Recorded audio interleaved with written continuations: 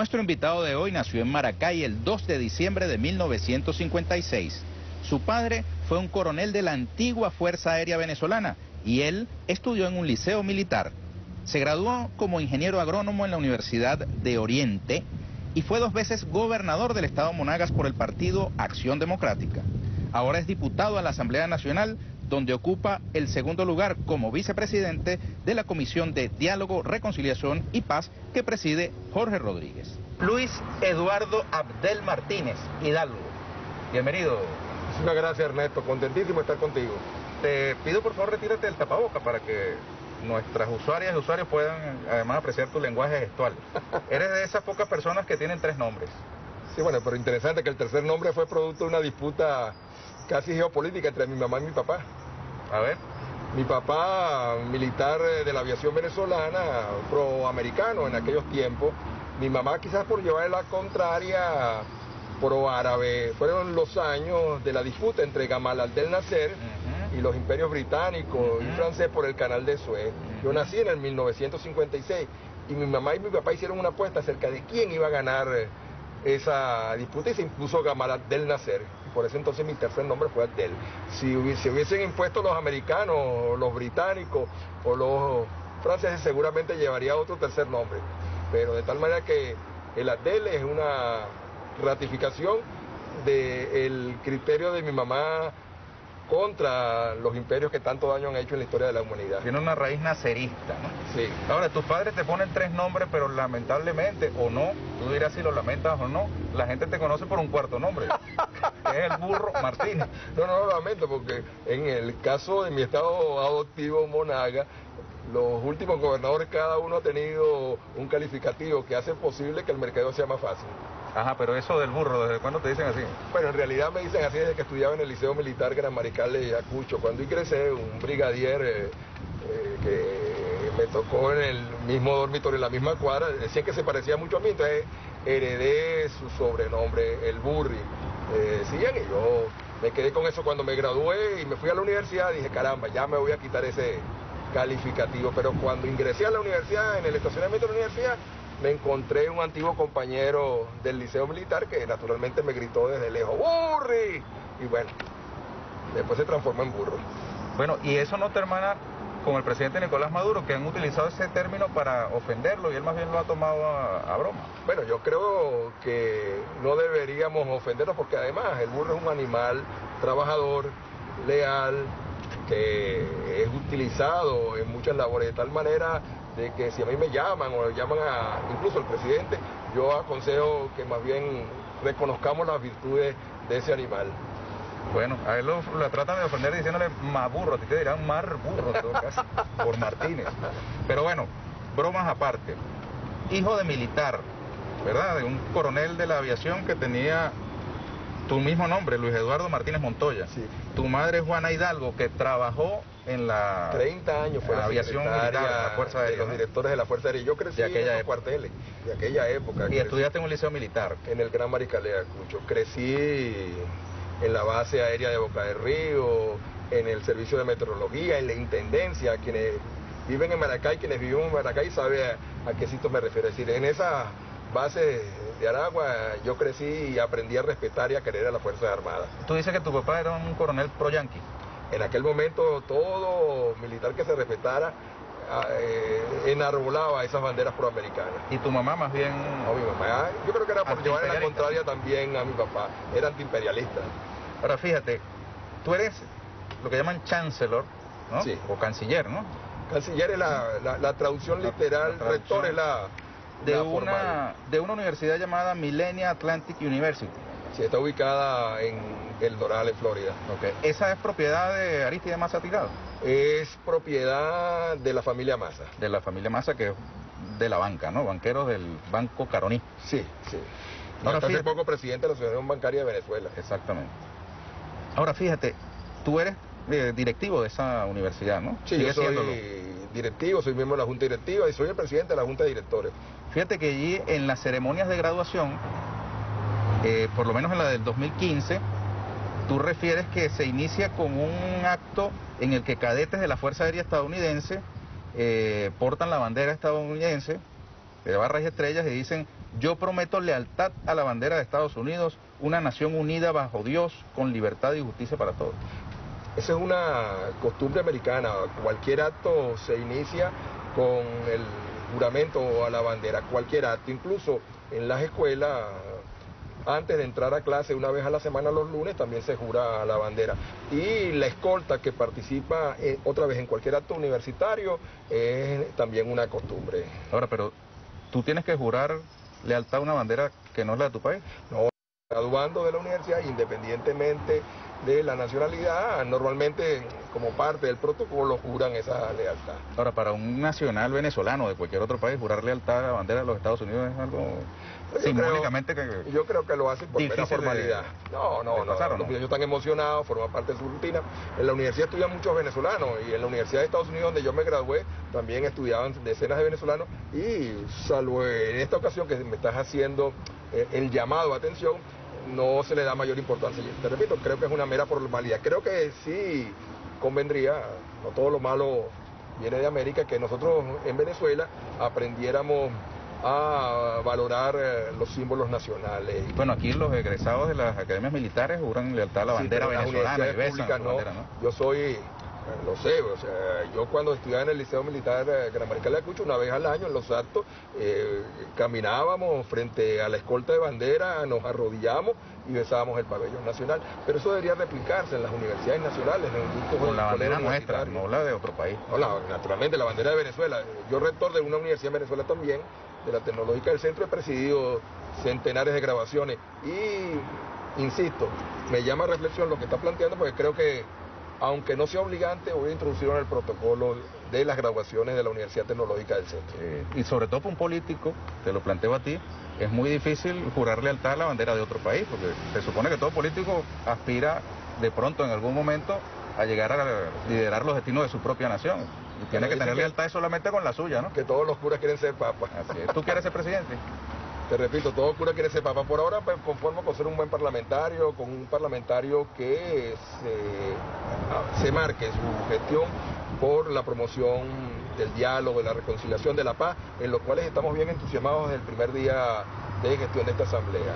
Y además de trabajar juntos, de que el Parlamento no sea un centro de diatriba como lo fue en los últimos cinco años, sino se convierta en una institución para construir juntos una Venezuela como la que nos merecemos.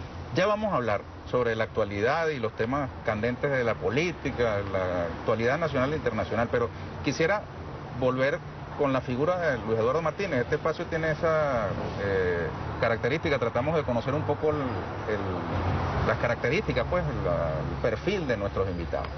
Y tú fuiste gobernador de Monagas. Eh, dos periodos, ¿no? En dos periodos, sí. Dos periodos. Fue electo y reelecto. Y eh, se recuerda que en el año 98 tú abandonaste la gobernación, renunciaste justamente de Miami, ¿no? No. ¿No fue así? Bueno, no exactamente así. Yo renuncié, pasé una carta al Consejo Legislativo de entonces, me quedaban unos dos meses de gestión, eh, había estado hospitalizado varias veces en Maturín, estaba precisamente en evaluaciones médicas y la conclusión es que la única garantía de poder dedicarme por completo a recuperarme era que me separara de la responsabilidad. Es una renuncia formal, la consideró la Asamblea Legislativa. Presenté mi memoria y cuenta, entregué mi declaración jurada de patrimonio y bueno, la satisfacción es que tras 20 años esa renuncia a la ni uno solo, ni uno solo de mis funcionarios, de los funcionarios que ejercieron conmigo, ni yo, hemos sido objeto de absolutamente ninguna averiguación, ni penal, ni civil, ni administrativa. Yo tengo y con mucha satisfacción el finiquito de mi gestión en la Contraloría General de la República. De tal manera de que si hubiese habido, por lo menos, algo irregular, ten la seguridad que en las condiciones de efervescencia que vivía el país hubiese salido a flote. Sabes que durante tu gestión uno de tus defensores fue un también adeco de Monagas, que es eh, eh, Rafael Poleo, ¿cierto? Claro, ¿Ah? me acuerdo, ahora antes del programa, estabas tú señalando una ocasión que compartimos allá en el sur de Monaga, pero ahora que estás recordando a Rafael, me estoy también viniendo a la memoria de que en esa visita que hicieron estaba la hija de Rafael, que en este momento se llama muy bien, Patricia. Ajá, pero fíjate, en ese tiempo, en los años 90, Poleo te defendía. no sé qué hace ahora, pero en algún momento mencionó que tú habías abandonado Acción Democrática en la desbandada del año 98 y renunciado desde Miami. Eso fue una desbandada, razones de salud, como has dicho, ¿cómo es la cosa? Rafael es un caso serio, tú lo conoces, comunicador social que en este momento se ha convertido en un emblema de lo que no debe ser eh, la comunicación en cualquier país del mundo. Está cargado de odio, está cargado de mezquindades y bueno, yo no sé quién en este momento tiene la razón, si él o Patricia, pero lo cierto es que uno despotrica de otro. De tal manera que si yo hablo mal de mis hijos y, o mis hijos hablan mal de mí, no es mucho lo que yo sirvo de ejemplo. Ok, pero hubo o no hubo en AD una desbandada en el año 98 con el triunfo de Chávez. Hubo un rezago, hubo mucha gente que se apartó porque interpretaba quizás correctamente, de que había llegado un, nuevo tiempo y que por lo tanto era preferible dedicarse a otras actividades.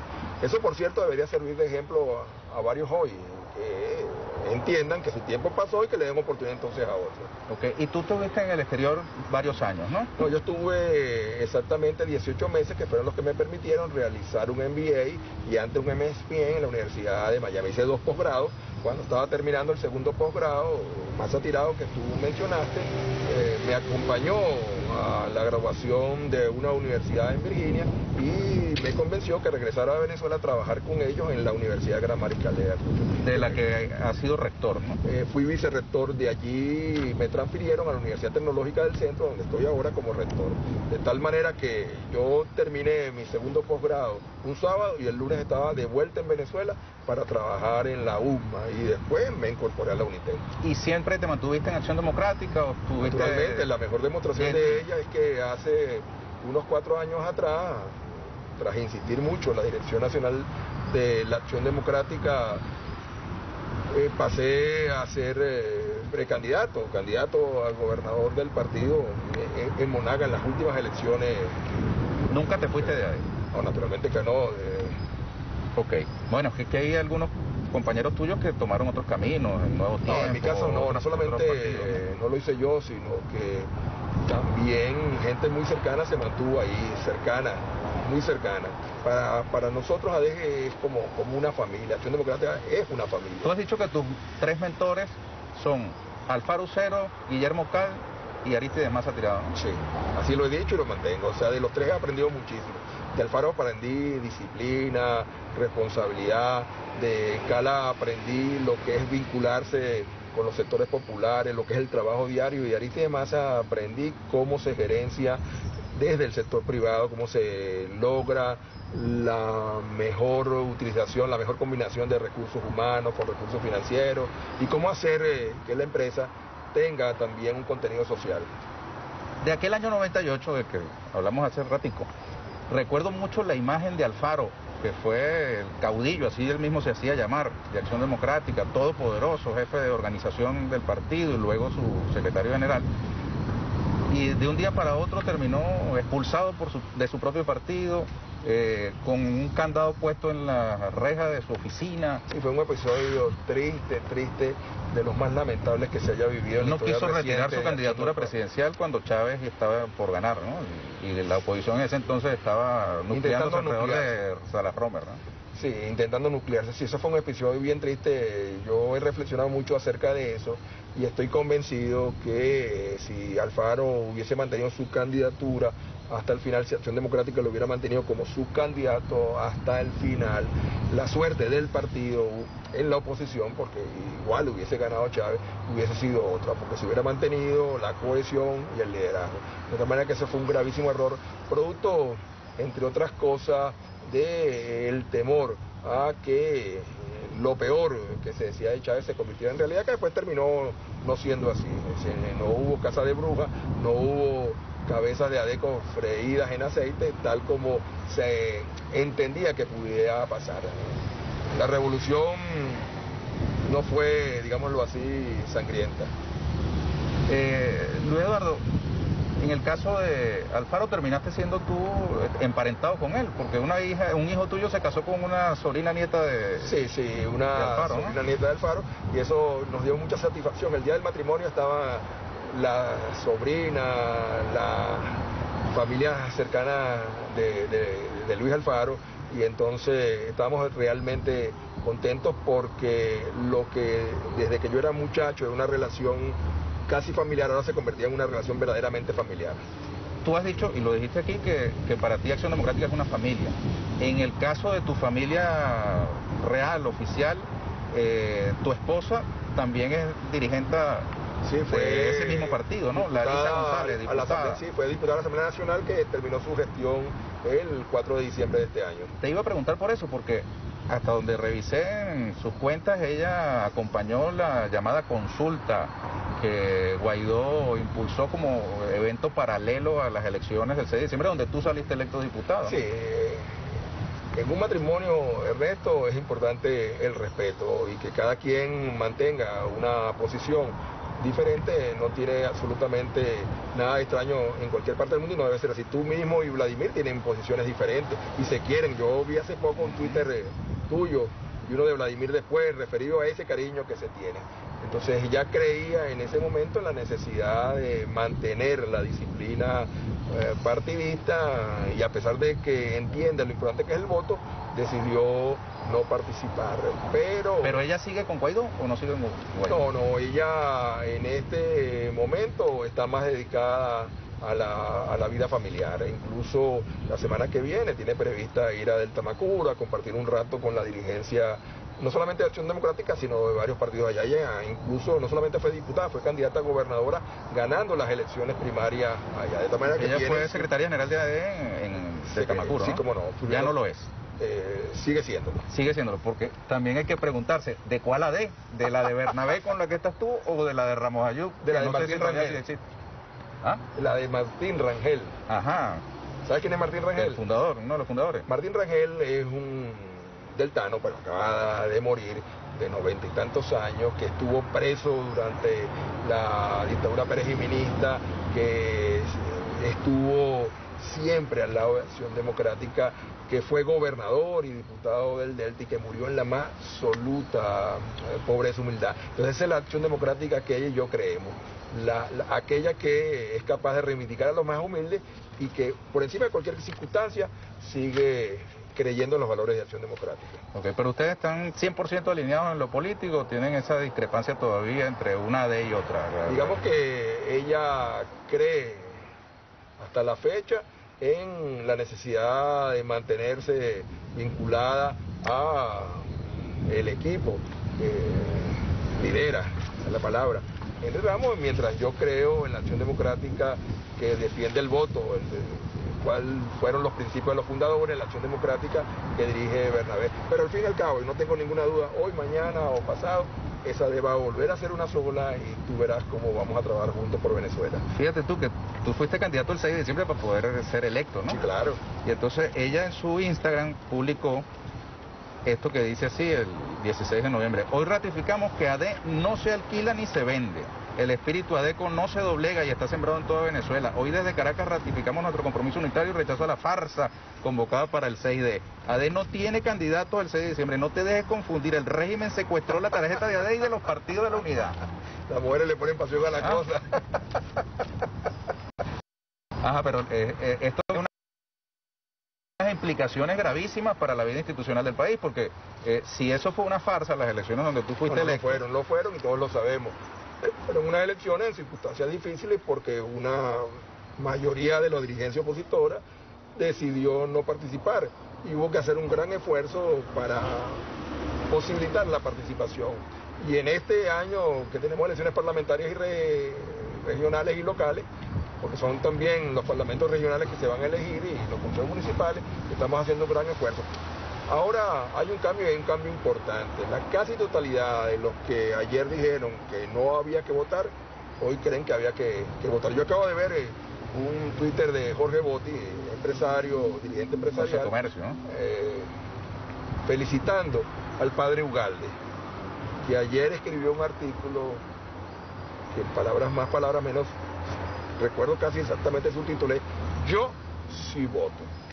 O sea, si yo tomo esa columna del padre Ugalde y busco todos, todos los pronunciamientos que hizo hasta semanas atrás, encontraré, encontraré que es diametralmente diferente. Pero, o sea, nosotros nos sentimos complacidos que se esté demostrando en esta oportunidad que el votar es la ruta correcta.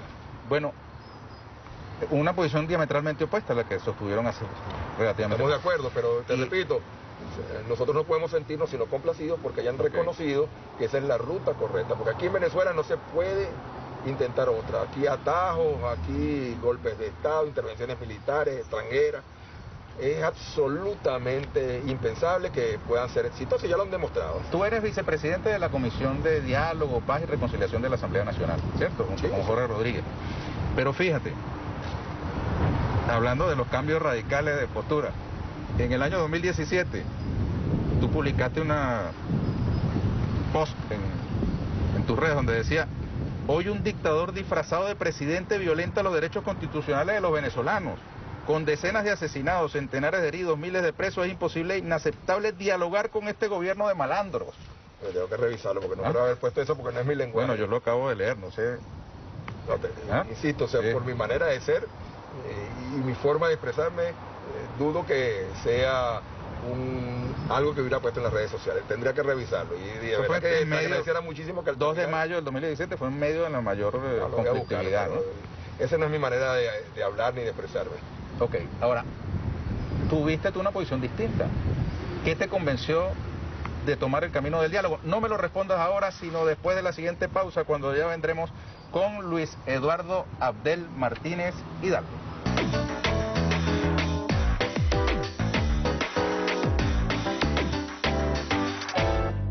Luis Eduardo Abdel Martínez Hidalgo. ¿Qué fue lo que te convenció de que el camino era el diálogo? Primero, nunca me he apartado de la convicción que es votando, vale decir, democrática y en paz, que Venezuela puede cambiar. Eh, si revisa las muchas columnas que durante los últimos años yo he publicado, siempre ha estado presente la importancia del votar. Segundo, convencido de que hay que votar eh, electo. Una vez en el Parlamento venezolano, entendí que ya era suficiente de confrontación, que ya basta de confrontaciones en Venezuela, que tenemos que entendernos, que cualquiera que quiera Venezuela tiene que ir por esta vía, abordar esta vía, y hoy la defiendo fervorosamente, porque es que no hay otra, R, no hay otra. Tú contaste en algún momento que estuviste cenando en Bogotá con Pedro Carmona, textualmente eh, dijiste, le dije que al pretender barrer y aplastar a los que no comulgaban con nuestra misma fe, debía atribuirse buena parte de la causa de la caída de su gobierno, entre comillas, de 48 horas. Y fue así. Eh, Pedro Carmona, tuve la oportunidad de conocerlo, eh, no lo había conocido antes, en una visita que hice a la universidad donde él creo que todavía se desempeña como decano de estudios políticos. En Colombia. En Colombia, en Bogotá. Y entonces coincidimos en una cena y, le hice esa reflexión. Él me hizo otra, eh, recuerdo. Eso quería preguntarte, ¿qué te respondió Carmona cuando tú le dijiste él me dijo que en realidad él había caído porque no había tenido la capacidad de manejar, eh, de tomar decisiones correctas en el sector militar. Él atribuyó su caída a un hecho fundamentalmente militar y como... No a lo político. No a lo político. Yo sí estoy convencido que fue un hecho político. El pretender barrer con absolutamente todo lo existente fue quizás su mayor error. Y hoy, Ese decreto de disolución de los poderes públicos. gobernadores, todas las instancias públicas. Y hoy es uno de los mayores errores de quienes comulgan con el radicalismo en, Venezuela. ¿Tú crees que está vivo el carmonismo en, la oposición venezolana? Es muy poco, pero está vivo. Aquí hay, yo todos los días insisto que sería un error gravísimo pretender, si mañana se produjera un cambio en Venezuela, barrer eh, las instituciones, barrer con todo lo que se ha venido construyendo. Déjame hablar con, de algo en lo cual conozco suficientemente. Yo siempre les digo a los radicales, bueno, ¿qué, van a hacer, por ejemplo, con las universidades venezolanas? con la Universidad Bolivariana de Venezuela, con la Universidad Nacional de las Fuerzas Armadas, ¿qué van a hacer con la misiones, ¿qué van a hacer con las universidades politécnicas territoriales? Resulta que en Venezuela hay unos 3 millones de estudiantes y más de 2 millones están entre UBA, Universidad, la UNEFA, las misiones politécnicas territoriales y apenas un millón están en las universidades de gestión privada y en las universidades tradicionales. ¿Qué van a hacer? ¿Las van a cerrar? ¿Las van a barrer? ¿Qué van a hacer eh, con los milicianos? ¿Qué van a hacer con los que todavía hay muchos que se han retirado, es cierto, laboran en PDVSA. ¿Qué van a hacer eh, con el de los poderes públicos? Mañana se produjera un cambio en Venezuela y confieso, no lo ocultamos, que eh, trabajamos para eso. Hay que entender que debemos convivir, debemos convivir con toda una realidad que, está allí. Lo peor que nos puede pasar a nosotros, que, que, pretendamos barrer con 20 años. Tú dices entonces que el chavismo es una realidad política. Por favor, lo ratifico. Y no, no tengo que decirlo yo, yo veo las encuestas. Yo veo las encuestas y, entonces me encuentro con que 20, 22, 25, 27 y a veces hasta 30% de los venezolanos, es un tercio de los venezolanos comulgan todavía en el chavismo madurismo, en el socialismo del siglo XXI, para denominarlo así. De tal manera que es una realidad. Tú no puedes construir un país barriendo, apartando, aplastando a, un tercio de él. ¿Y tú dirías que eso es lo que se plantea, por ejemplo, Leopoldo López? No, claro que no, por favor. ¿Sabes qué? Te lo pregunto, no, yo no sé qué no, caigo en el personaje porque justamente Leopoldo López ha sido señalado por el presidente Nicolás Maduro, incluso lo hizo delante de ti en una sesión pública de la Comisión de Diálogo con él, Miraflores, como el, digamos, el gran orquestador de ese hecho de violencia aquí en la Cota 905, eh, como un plan para para quienes están afuera, para quienes están afuera, yo respeto a los que se han ido por otras razones, pero para, para quienes están afuera, aprovechando por cierto cuantiosos recursos que, que deberían los venezolanos estar eh, de alguna manera disfrutando, pues son recursos de los venezolanos los que les permite a ellos vivir como viven afuera, tienen una visión y una percepción diferente de lo que pasa en Venezuela. lo que pregonan precisamente de barrer con lo existente es un error absoluto. Si Carmona duró 48 horas, cualquiera que mañana asuma la jefatura de Estado y el gobierno en Venezuela y pretenda barrer con lo que en estos últimos 20 años, con errores y aciertos, se ha construido, durará mucho menos. Y se los he dicho. Si Carmona duró 48 horas, cualquiera que llegue y empiece a, barrer con lo existente, durará unas pocas, no llegará a 48 horas. Esa reflexión tuya es nueva, siempre has pensado así. siempre he pensado ahí y menos mal que tienes esa columna que debe tener 4 o 5 años, que esa reseña que hice allí y que se le hice al propio Carmona. Usted fue eyectado violentamente del poder porque no entendió de que no podía barrer lo que en apenas dos años se había construido. 2002 desde el 99. Tres, años, años, se había construido. Entonces imagínate ahora lo que existe, eh, lo que se ha dado durante 21, 22 años de ejercicio del poder. Es una realidad. Es una realidad que hay que entender y que hay que, de alguna manera, algunos han etiquetado como, como despectiva la, la palabra cohabitar que eh, en cualquier caso su origen en la política es francesa, cuando François Mitterrand cohabitó con Giscard d'Estaing, hicieron entre los dos un gobierno que satisfizo a los franceses, el jefe de Estado uno, jefe de gobierno de otro, pero, pero aquí tenemos que aprender a cohabitar. Eh, Luis Eduardo, hablando de la fauna política con la que comenzamos, hablando del, como te llaman, ¿no? Que te pusieron el remoquete del burro Martínez, con el que se te conoce pues han utilizado el nombre de otro espécimen del reino animal para describir a quienes hoy día en la oposición venezolana tienen esa postura. Lo llaman alacranes. Lo que pasa es que ahora todos somos alacranes, o casi todos. Hashtag todos somos alacranes, porque etiquetaron como alacranes aquellos que defendíamos el voto. Etiquetaron como alacranes aquellos que defendíamos que había que participar en las elecciones parlamentarias. Y los que ahora andan en campaña en Caracas y en el resto del país, que antes no creían en votar y ahora sí creen, ¿qué son? Nuevos alacranes. Te, te repito, hasta todos somos alacranes. Una que otra se salva. Y fíjate que estoy poniéndole el, eh, eh, eh, género. el género femenino. Una que otra se salva. Y, y, se salva, yo creo que no encontró la narrativa, porque si no también fuera alacrana. Pero entonces, en todo caso hay alacranes de primera y de segunda generación, ¿no? Sí, sí, digamos que hay unos alacranes que se originaron en noviembre y unos alacranes que se originaron en marzo. Mira, el que mejor quizás ha, descrito la situación de por qué unos viejos alacranes, vamos a darle esa denominación, o alacranes con, con mayor data, y otros nuevos alacranes, fue un amigo mío, que creo que también es tuyo, Enrique Capriles. Le hicieron una entrevista. no tenemos amistad, Capriles. Yo tengo tiempo que no lo entrevisto. Vamos a entrevistarlo. Entrevístalo. Seguramente van a disfrutar la entrevista a ambos. No, pero a él le hicieron una entrevista muy buena en el país. Y entonces hay una pregunta clave. Le preguntaron, ¿por qué ahora? Si es correcto, conveniente, necesario, no recuerdo la calificación exacta, participar porque es posible participar ahora y antes no. Y creo que fue franco, franco, franquísimo, porque no está Trump. Está allí, no lo digo yo, porque no está Trump. Entonces, bueno, hubo unos que en noviembre participamos y hay otros que no participaron en noviembre, pero ahora van a participar, están deseosos de participar. Porque está Biden. Porque está Biden, porque está Blinken, porque está eh, Borrell. La semana antepasada, en un comunicado, yo no sé, o sea, creo que Rómulo Betancourt lo hubiera roto en pedazos, porque es una demostración de injerencia absolutamente grosera. El, secretario de los Estados Unidos de Norteamérica, el alto comisionado Borrell de la Unión Europea y el ministro de Relaciones Exteriores de Canadá eh, se pronunciaron acerca de la conveniencia de que se participara en las elecciones regionales y locales.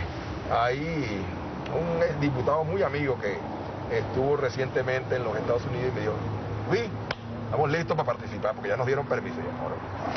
¿Eso no describe un grado de dependencia frente a una potencia extranjera, frente a la bandera esa que, a la que le juran lealtad los egresados de esas universidades gringas? Te repito, si Rómulo Betancourt estuviera vivo, lo hubiera echado a patadas, perdóname la expresión, del partido.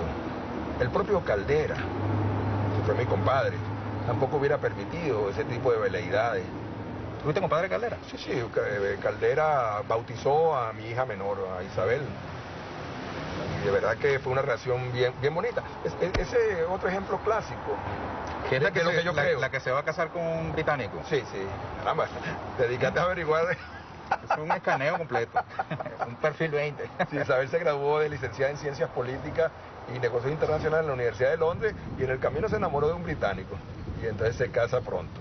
Eh, pero volviendo, volviendo al asunto, Acción Democrática se proclama desde sus orígenes un partido nacionalista y antiimperialista, está en sus estatutos. Nunca se han excluido esas dos palabras, esos dos, dos definiciones en el Tú podrás decirme que son, que no son, pero están allí. Esa es la acción democrática originaria, ¿no?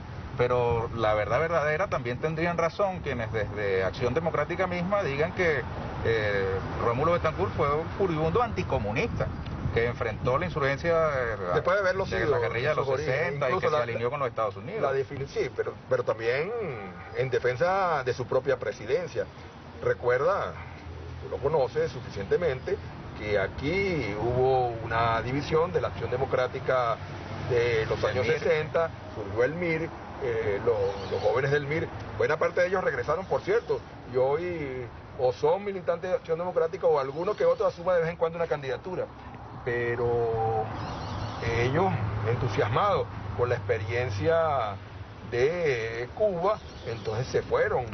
Pero lo que te quiero decir, en el presente hay adecos que genuinamente no se ven en tu postura porque se sienten identificados con la política exterior trompista que la han acompañado. El militante de Acción Democrática que conozca los estatutos, su doctrina, no puede apartarse, te repito, lo que es un principio fundamental. Nosotros estamos en este momento eh, revisando los estatutos. Debemos convocar un comité directivo nacional las próximas semanas para aprobar la reforma de los estatutos y el principio nacionalista, revolucionario y antiimperialista se mantiene. Hemos agregado, sí, un concepto nuevo. Acción Democrática se va a proclamar un partido humanista.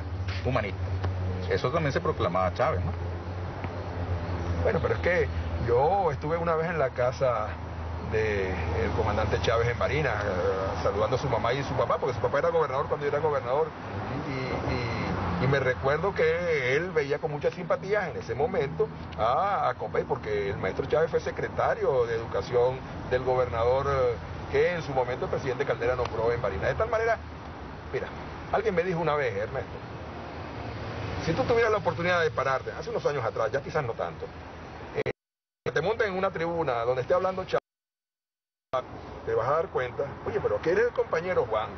Y aquí es el compañero, pero caramba, ve la compañera María, que antes tenían franela blanca y ahora se ponían franela roja. Entonces aquí... Entonces eso de que Adeco es Adeco hasta que se muere no es tan... No, sí es, Adeco hasta que se muere, pero hace de vez en cuando una pasantía. Por lo que me refiero es que buena parte de la militancia del chavismo, y lo digo de manera respetuosa, eh, en su momento militó también en otras organizaciones, pero fundamentalmente en la Acción Democrática. ¿Sabes que también hay una eh, asociación de, digamos, de los vicios de la democracia representativa a lo que se llama una cultura deca? Y dentro del chavismo eh, se suele denunciar como adecos, encubiertos o patas blancas, me acuerdo que en algún momento se utilizó ese término, aquellos cuadros que de pronto se desvían y entonces este, se señala que no son de un chavismo puro, genuinamente digamos, representativo de, los postulados, sino que son en, el fondo adecos. ¿Cómo te sientes tú cuando es el, digamos, el patrón con que se mide la bondad o no de un cuadro chavista?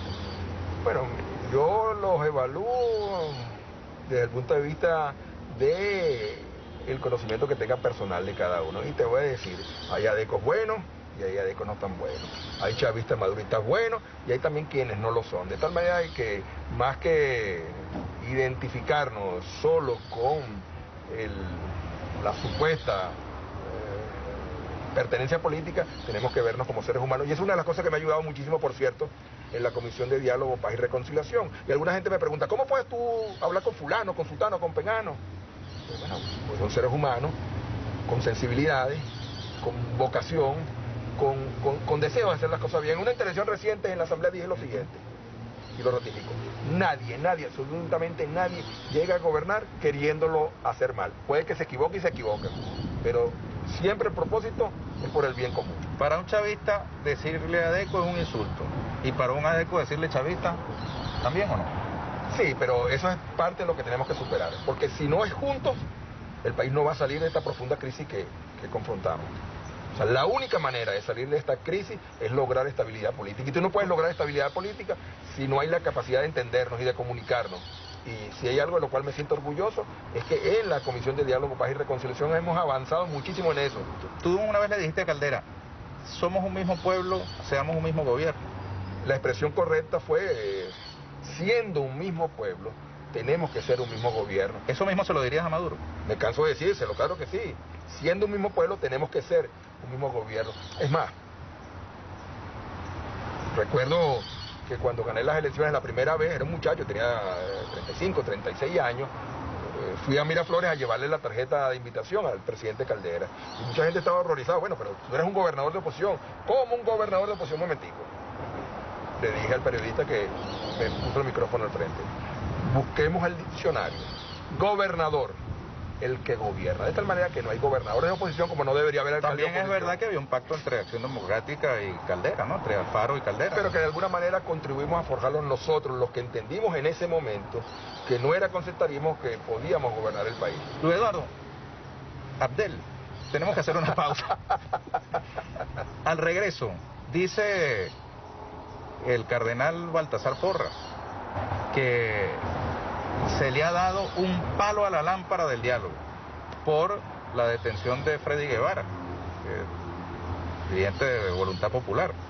Quisiera tus impresiones después de la pausa, cuando regresaremos con Luis Eduardo Abdel Martínez Hidalgo.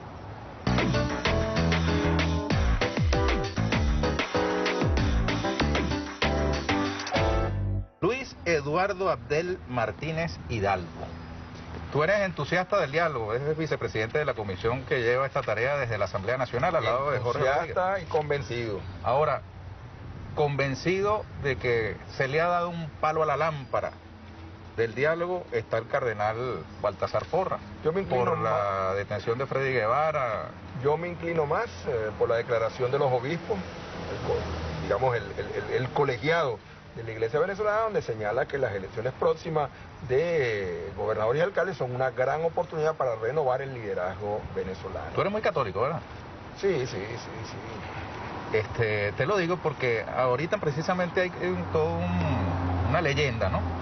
A propósito de la autopista Gran Cacique Guaycaipuro, jefe de jefes, que está siendo intervenida con unos murales alusivos a... Hasta Siri ya lo llama así. ¿Ah? Hasta Siri ya lo llama así a la Siri ya la reconoce, ¿no? Sí, sí, sí, sí. Pero hay una leyenda urbana, eh, de esta cosa de las redes, que atribuye esa pintura de inspiración indígena a una cosa de brujería.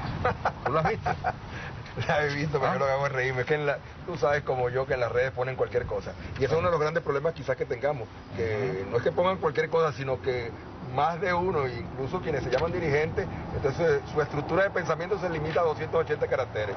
Bueno, y a las tendencias de Twitter, ¿no? Y, eh, digamos, la formación de opinión a partir de las cosas que son virales o no. Yo le decía aquí con la semana pasada en un programa, eh, bueno, después me llamaron la atención que no debe haberlo dicho así, que hay muchos que se limitan su, su quehacer político, es pararse en la mañana, meterse al baño, sentarse en la poseta, escribir un Twitter, eh, ya trabajé hoy, ya hice política hoy. Bueno, mira, pero fíjate, a propósito de ese señalamiento, también empezó a circular en las redes una fotografía donde aparece tú junto con Liliana Hernández y otros dirigentes de AD hace muchos años en la montaña de Sorte, haciéndose un, una brujería. ¿Tú no lo has visto?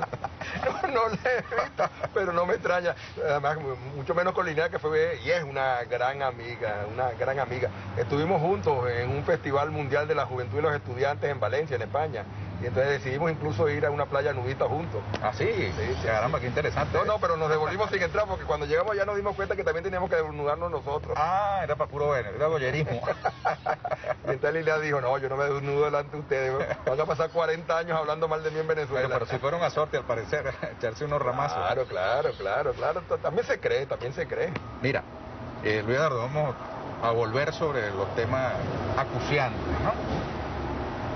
Nosotros tenemos en Venezuela en puertas unas elecciones, ¿no?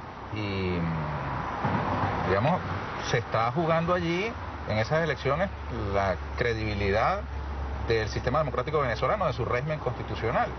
Eh, hay una comisión de la Unión Europea que ha venido al país a estudiar eh, las condiciones, a ver si eh, vienen o no a acompañar con observación estas elecciones. Están aquí, van a estar hasta el viernes. Ajá, y bueno, justamente, qué casualidad, estando ellos aquí, estalla ese episodio terrible de la Costa 905, que antecede al asesinato terrible del presidente de Haití, a la visita del eh, el director de la CIA Bogotá, el presidente Maduro ha establecido, y Jorge Rodríguez también, una conexión entre todos esos hechos, incluso eh, el estallido de algunos disturbios en, Cuba, ¿no? Inusuales.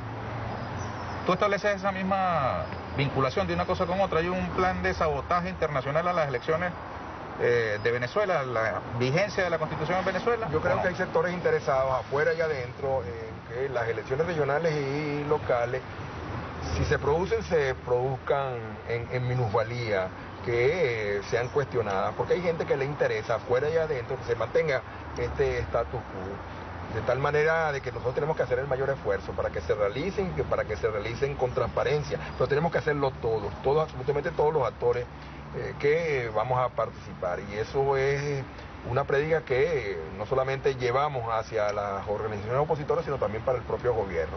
Le interesa a la oposición un proceso transparente que haga posible incrementar la participación tanto de candidatos como de electores, pero también le interesa al gobierno. Todos tenemos que cuidar eso. ¿Tú vas a ser candidato? No lo sé, no lo sé. Pues yo no quiero ser candidato. En todo caso quiero ser gobernador. Bueno, pero para ser gobernador hay que ser candidato, a menos que se vuelva la designación. No, no, yo lo sé, yo lo sé, yo lo sé, pero si no hay la capacidad de unirnos, si no hay la capacidad de presentar un programa marco, si no hay la capacidad de garantizar que las mesas tengan cada una de ellas un testigo de una oposición unida, entonces tú estás condenado a fracasar. Lo he dicho y mantengo. Aquí puede haber cualquier cantidad de observadores internacionales. Aquí puede haber 20.000 eh, auditorías del software y agua. Aquí puede haber más tarjetas de las ya aprobadas, que ya pasan de 100. Aquí puede haber el 100% de las condiciones que se pidan, pero si tú no marchas unido en la oposición, si no tienes un programa marco unitario y si no tienes testigos en cada mesa, olvídate. El gobierno el 22 de noviembre, el oficialismo va a amanecer diciendo, bueno, les ganamos limpiamente y ahora. ahora eso no es responsabilidad de Maduro, es responsabilidad de una dirigencia, y fíjate que no digo de un liderazgo, que tiene que entender que por encima de los intereses de grupo o de sector están los intereses del país. Mira, y los números, ¿cómo se ven para la oposición en, esta, en este proceso electoral? ¿Ustedes tienen como alguna estimación de, de aspiración, de gobernaciones que pudieran ganar, alcaldías? Vuelvo a decirte, todo depende de nuestra capacidad de unirnos. ¿Por qué? Porque Chemel, José Antonio Gil Yepe, Seguía, Seija coinciden en que hay un gran disgusto en la población, que hay una valoración negativa del gobierno, que hay un rechazo a la clase política oficialista, como también la hay, por cierto, a la clase política opositora. Sí, somos capaces de marchar unidos, pero además de eso, de convertir estas elecciones en una evaluación de la gestión del gobierno, seguramente los resultados pudieran ser tan positivos como fueron las elecciones del 2015. En el 2015 nadie, absolutamente nadie creía en esos resultados. Unos muy pocos pronosticamos que se iba a sacar ese número de diputados. ¿Cuál fue el valor que verdaderamente la población entendió en ese momento? El, valor de esa alianza opositora, el valor de la unidad. Porque hubo candidatos que fueron electos que nadie conocía, que no sabían. Ellos mismos se sorprendieron. A mí me dijo en una oportunidad, a lo mejor no se acuerda, Freddy Bernal, que aquí en Caracas lo había derrotado una, un dirigente que ni siquiera él se sabía su nombre. Y que se lo preguntó a muchos en el, en el circuito, tampoco se lo sabía, pero ganó. Pero, pero te repito, fue la unidad lo que se convirtió en un elemento de captación de votos y una oportunidad para expresar la opinión de la gestión gubernamental en ese ¿Y qué tan cerca y tan, o tan lejos están ustedes de esa unidad como la del 2015? Hoy no estamos cerca, pero hacemos esfuerzos incansables para llegar a ello. El tiempo apremia, ¿no? Las postulaciones de candidatos son a partir del 9 de agosto y se prolongan durante unos pocos días. Nosotros mismos estamos pidiendo, ayer lo pidió el diputado José Gregorio Correa, de que se sea inflexible en el mantenimiento del cronograma electoral. Con eso buscamos que no se mantenga ad infinitum las discusiones sobre las candidaturas. Pero reitero, si aquí no hay unidad en la oposición, el 21 de la noche tú aquí o en cualquier sitio vas a poder reseñar un triunfo del oficialismo. Y respecto del sistema electoral en sí, ¿Tú tienes plena confianza en que ese sistema, digamos, es mm, idóneo para respetar la voluntad del elector o, acompaña de alguna manera algunas de las mm, críticas que se han lanzado sobre la transparencia Yo te voy a decir a lo que le dije a europarlamentarios en una reciente reuniones que tuvimos en la sede de la Unión Europea en Bruselas. Tú puedes poner al Papa Francisco de presidente del Consejo Nacional Electoral Puedes poner eh, a todas las vírgenes de nuestro santoral de miembros del Consejo Nacional. Por lo pronto es San Pedro Casadilla. Está bien, pero digamos que tú eh, produces un acuerdo aquí, vamos a poner a Baltasar Porras de presidente, a nuestro querido cardenal. Pero si tú no te cuidas de tener en cada mesa de votación un testigo, tú no hiciste nada. La clave aún con las máquinas. Aún con las máquinas. Aquí esas máquinas Ahora se están haciendo las auditorías tanto del hardware como del software y Picón y Márquez, que yo creo que son hombres serios y que generan gran confianza, hasta los más escépticos han dicho que las auditorías reflejan que las máquinas y los programas producen los resultados que deben producir. Aquí quienes hemos trabajado en procesos electorales sabemos que el problema no son las máquinas. Si tú no tienes testigos, Ernesto, cualquiera va a hacer que resultados sean diferentes. Pero no pasa aquí nada más. ¿Tienes un teléfono allí con, con salidas internacionales? ¿Encima de ti? No, no, no. Ah, bueno, lástima. ¿Por qué? No, no, porque te iba a decir para que marcáramos el número de teléfono de Mar a Lago, que es el resort en Florida donde vive Donald Trump. Y con suerte le pudiéramos pedir que nos pase con el tonjado de Donald Trump. Y entonces le preguntáramos a Donald Trump qué opina de las elecciones presidenciales de noviembre del año pasado en la democracia más perfecta del mundo. ¿Qué tú crees que va a decir Trump? Lo que ya ha dicho una y otra vez. Fraude. Hubo fraude. Me hicieron fraude. no hay sistemas electorales perfectos como no hay procesos electorales perfectos. Pero depende de los candidatos el que el sistema sea lo más perfecto posible. Y eso requiere entonces padrón electoral, funcionarios entrenados en las últimas elecciones de gobernador y alcaldes de Venezuela, el 42% de los centros de votación y mesas no tuvieron testigos de la oposición. Y eso no es culpa del oficialismo. Eso es responsabilidad, para no decir culpa, de quienes no tuvimos la capacidad de presentar los testigos necesarios para cuidar los votos. Y entonces, si tú revisas los resultados electorales de las elecciones de gobernador y alcalde últimas, te encontrarás con un patrón absolutamente diferente entre aquellas mesas donde hubo testigos y aquellas que no hubo. Pero nunca ha sido distinto, nunca ha sido distinto. Yo he escrito sobre eso también. Cuando yo fui candidato a gobernador o a diputado, que todas esas elecciones las gané, y me llamaba un miembro de mesa, aquí en Amana del Tamarindo, los testigos de Copey no han llegado, y el del MAS tampoco está por aquí, ¿qué hago? No me esté llamando para eso. Tú sabes lo que tienes que hacer. Bueno, y a vuelta de una hora, dos horas, notificaban, se cerró la mesa de Amana del Tamarindo, votó el 100% y el 100% votó blanco. Pero si no hubiera sido Adel que tuviera los testigos ahí, le hubieran hecho lo mismo. De esta manera que cada quien es responsable de cuidar sus votos. Y esas son las realidades. Esas son las realidades, te repito, aquí y en cualquier parte del planeta. Por eso cada vez que hay elecciones en muchas partes del mundo surgen esos, esos reclamos. Y por eso me refiero a la última elección presidencial, donde todavía hasta el último, el último día, la mañana, en que Biden iba a juramentarse allí a, la investidura, es el término que utilizan allí en el Capitolio, todavía en la mañana cuando salió Trump de la Casa Blanca reñadiente, dijo, me hicieron trampa. Estaba hablando de la primera imagen ejemplar democracia. Mira, ustedes cuando se posesionaron en la Asamblea Nacional, de alguna manera abrieron una expectativa en torno a la relación de Venezuela con los Estados Unidos. Eh, algunos cifraron sus esperanzas en que eh, ustedes podrían ser un vehículo para un cambio de la política exterior norteamericana, estadounidense, hacia Venezuela.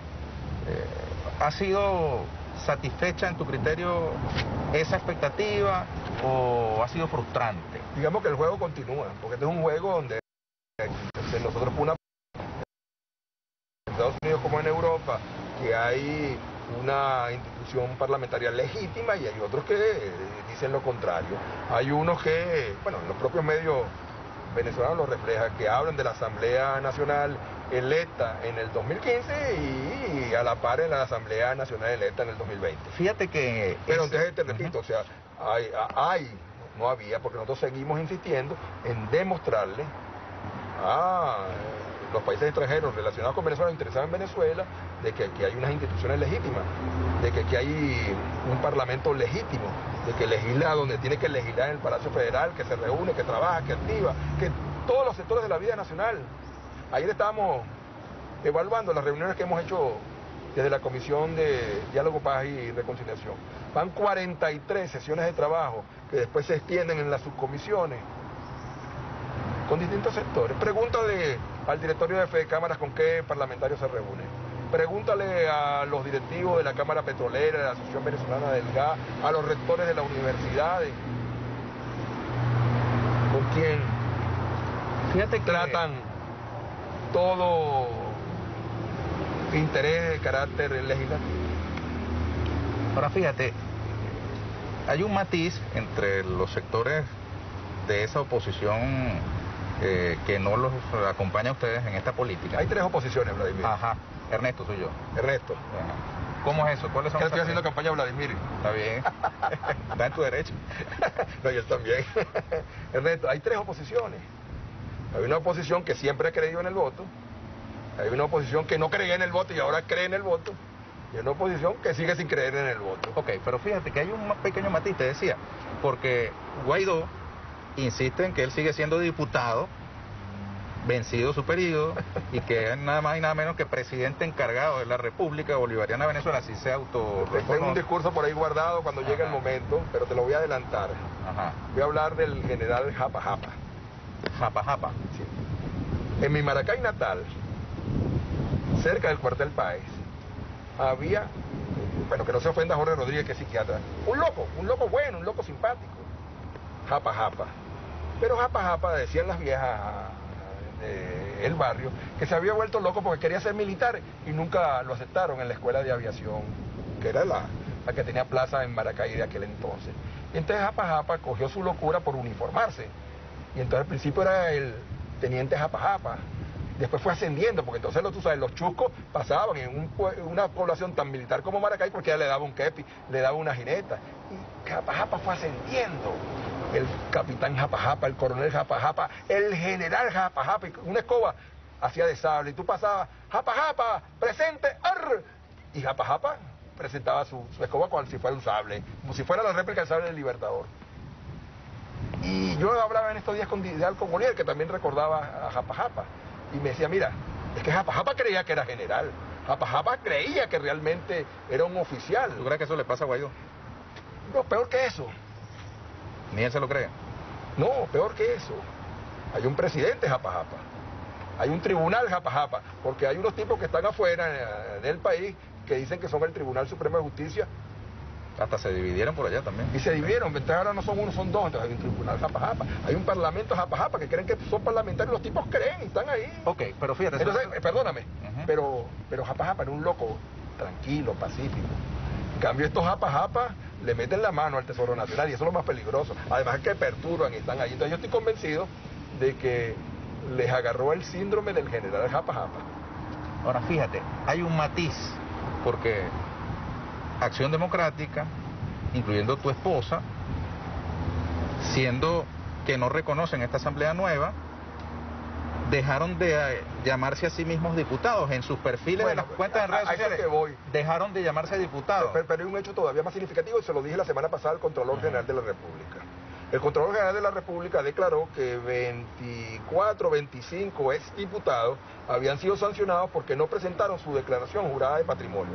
Yo le dije, Contralor, usted me va a perdonar, pero yo creo que es un error esa declaración suya. Está bien, usted puede decir 23, 24 diputados de la anterior asamblea no presentaron su declaración jurada de patrimonio, pero 200 sí la presentaron. Cuando yo estuve reunido con el presidente de la Unión Interparlamentaria Mundial, una de las cosas que le mostramos, miren, aquí están 200 y más parlamentarios que fueron electos en el 2015, que presentaron su declaración jurada de patrimonio de cierre de su gestión. Entonces no es las redes sociales donde se borraron, es que frente a un órgano del Estado. Reconocieron que ya no Reconocieron que están, porque... ¿Cuándo tú harías? Tú fuiste un alto funcionario del gobierno venezolano. Hasta esta hora sigo siendo. Sigue siendo. Bueno, espero que por este programa no te castiguen. Al contrario. Cuando tú salgas, tú tienes que hacer una declaración jurada de patrimonio, no antes. Estás reconociendo que tu gestión cesó. Entonces, Dice que la mayoría de los parlamentarios. No, no lo digo yo. Puedes preguntarlo al control. Invita al control y pregúntale cuántos diputados de la anterior Asamblea Nacional presentaron su gestión. Entonces es una cuestión sencilla. Él ha dicho que 23 o 24, no recuerdo en ese momento la cifra, pero no es más de eso, fueron sancionados por no presentarla. Verbigracia, el resto la presenta y yo sé que la presentaron. Ok, ahora, ¿por qué te lo planteo? Ya, si ahí quería llegar es que para algunas mentes que observan la política y se acuerdan de aquello que dice que la verdad de la política está en lo que no se ve, para algunos todo se trata de una jugada maestra de Ramos Ayú que finge acompañar a Guaidó, pero que en realidad está moviendo los hilos y que siguen en Presentó su declaración jurada de patrimonio. Presentó su declaración jurada de patrimonio de cierre de gestión revisa su el perfil de sus cuentas sociales para que vea que por ninguna parte hay de diputado. Pero no lo está haciendo, digamos, en convivencia con ustedes, los adeptos de este otro sector. No, Eso tú sabes, se especula mucho, pero no, no. Y si hay algo que... Ramayú sigue activando en política, como dice el presidente ahora, se la pasa tomando café nada más. Que está retirado. Como yo no me la paso bebiendo café ni bebo ron, ni ando por ahí bebiendo calla, no sé, no lo he visto. Pero... si el presidente lo hizo, alguna información debe tener. A lo mejor tiene hasta su foto. Bueno, Luis Eduardo Abdel Martínez Hidalgo, muchas gracias. Muchísimas gracias, Ernesto Villegas, hermano de Vladimir Villegas. Así es. Entonces, a lo mejor lo visitas en la alcaldía de Caracas. Así. bueno, muchas gracias, Eduardo. Un gran éxito, vale. Muchísimas gracias. Ponte el tapaboca, por favor, para yo poder quitarme el mío, aunque es un formalismo, ¿no? Con esta distancia no hay riesgo, pero como un elemento pedagógico nosotros insistimos en el uso del tapaboca. Amigas y amigos, hemos llegado al final. Muchísimas gracias por habernos acompañado y los invito a una nueva oportunidad aquí con Ernesto Villegas, siempre con muchísimo respeto por usted.